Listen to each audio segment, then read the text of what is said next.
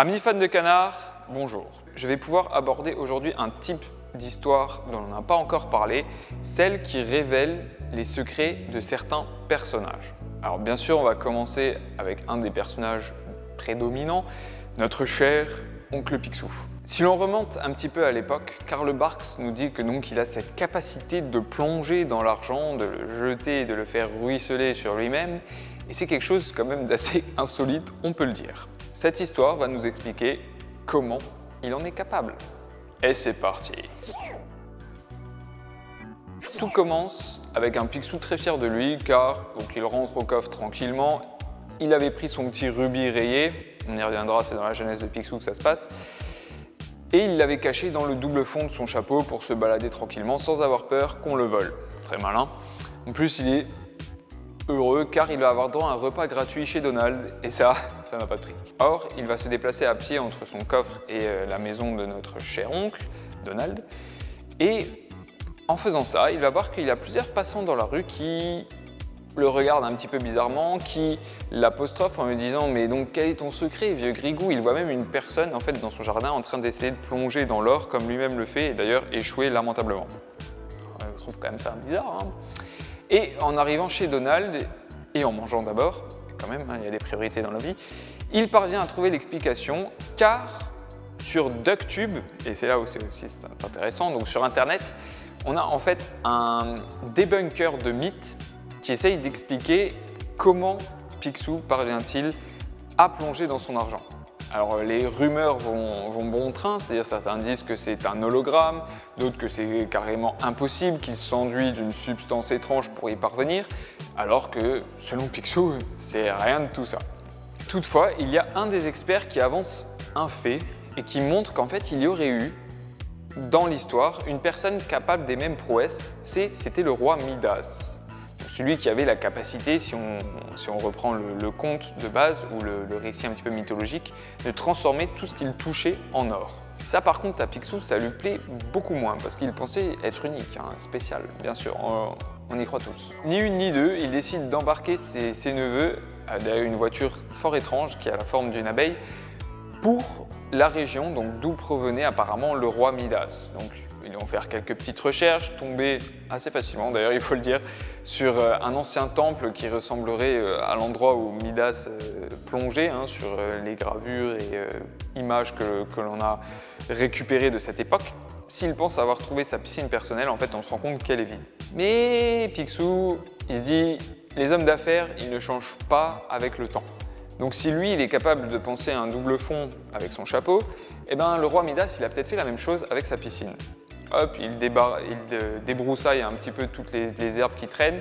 Effectivement, il trouve une main au fond du bassin et il se dit, bah voilà, c'est un symbole. Lui, il pouvait transformer tout ce qu'il touchait en or, donc si je pose ma main, ça devrait s'ouvrir. Eh bien non. Eh bien non, quel échec Quel échec des, canards de Donaldville Et vous le savez, ils sont retors.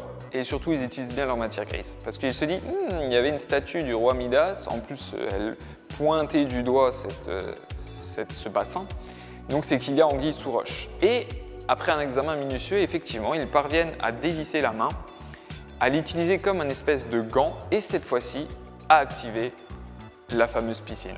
Donc ces derniers, ils parviennent à trouver l'or du roi Midas. D'ailleurs, Picsou plonge dedans et ne parvient pas à creuser des galeries comme il aime si bien le faire, ce qui est d'ailleurs assez bizarre, on y reviendra dans l'analyse. Surtout, il voit qu'en fait, le roi Midas utiliser un stratagème et qu'en fait il n'a jamais réellement réussi à plonger dans l'or, comme le fait Picsou.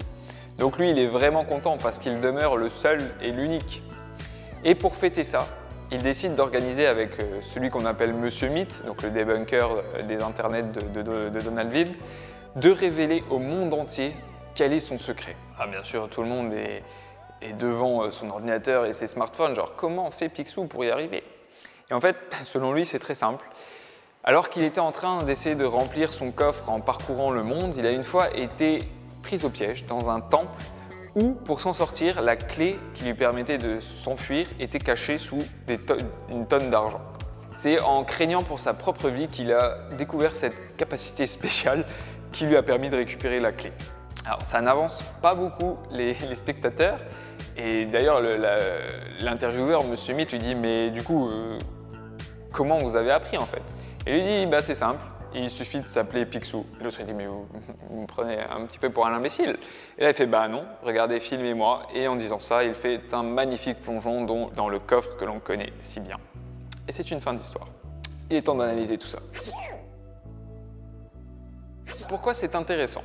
Alors déjà, comme j'ai dit, c'est une spécialité de Marco Rota, un auteur que j'aime bien et qui d'ailleurs participe euh, au dessin dans cette histoire, en fait de nous présenter un petit peu les secrets de Picsou. Il l'a fait de nombreuses fois et à chaque fois ça nous permet en fait de mieux connaître le personnage.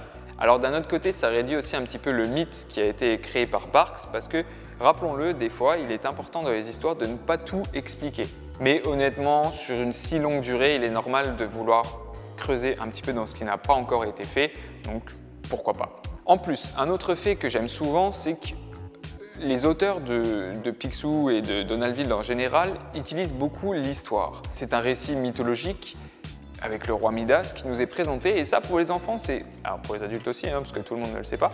D'ailleurs, euh, on s'en bat les couilles. Mais voilà, donc vous apprenez en même temps l'histoire de ce roi et euh, un petit peu la version remise au goût du jour avec Picsou. On apprend, on apprend en s'amusant, c'est nickel. Point à souligner, c'est l'apparition des nouvelles technologies dans cet univers. Car si j'aime beaucoup hein, le côté classique euh, de Barks euh, ou même de Don Rosa qui, sont restés plutôt dans, un univers coincé euh, à la fin des années 50. Là, on a Internet, on a la version en canard de YouTube, on a des, influenceurs, hein, littéralement, ce qui est un petit peu Monsieur Mythe. Bref, on a une actualisation de ce monde dans la vie actuelle.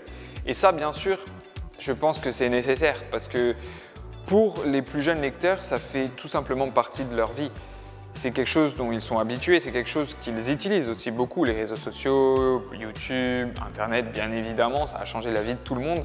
Donc du coup, ça paraît, si on veut continuer à toucher aussi ce public, ça paraît normal de l'inclure dans les histoires. Et là, je trouve que c'est fait correctement car ça, n'est pas abusé. Dans certaines, ils vont vraiment, je trouve, trop loin et ils rendent le tout caricatural. Alors que là, c'est plutôt un bon exemple de ce que c'est réellement. Un point de scénario que j'aime beaucoup, c'est ce qui s'appelle le setup payoff. Parce qu'au début, on voit Picsou se balader avec le double fond de son chapeau qui contient le rubis, et on se demande un petit peu mais qu'est-ce que ça vient faire dans cette histoire? Et après, c'est utilisé de manière très ingénieuse avec la piscine du roi Midas qui elle aussi recèle des secrets en dessous d'elle. Principe de narration très simple, mais toujours efficace. Et là, on en a un très bon exemple. Au niveau du dessin, je suis personnellement un grand fan de Marco Rota, qui apparemment d'ailleurs est accompagné de son fils, j'imagine, euh, pour cette histoire, parce que donc il se prénomme Stefano Rota. Il a une patte indéniable qui pourtant donne un caractère, je trouve, assez ancien à l'ensemble, mais très élégant et intemporel, je trouve. Et c'est une de ces raisons pour laquelle j'aime beaucoup, beaucoup son crayonné. Au niveau des petits défauts, donc bah, je trouve qu'il y a peut-être la petite incohérence hein, quand même. Pourquoi Picsou n'arrive pas à plonger dans, l'or du roi Midas, ça, euh, ce n'est pas expliqué d'ailleurs. Surtout qu'après, il y arrive. En fait, la première fois, il essaye, il échoue, et après, il y arrive. C'est un petit peu bizarre. Et aussi, je ne comprends pas le délire qu'ils se sont fait avec la voiture.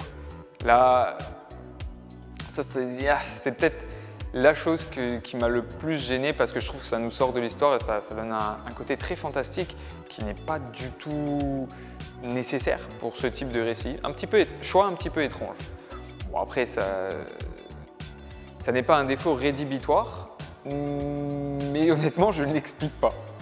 Pour en revenir au dessin, il n'est pas très détaillé, mais je trouve qu'il est très onirique en fait.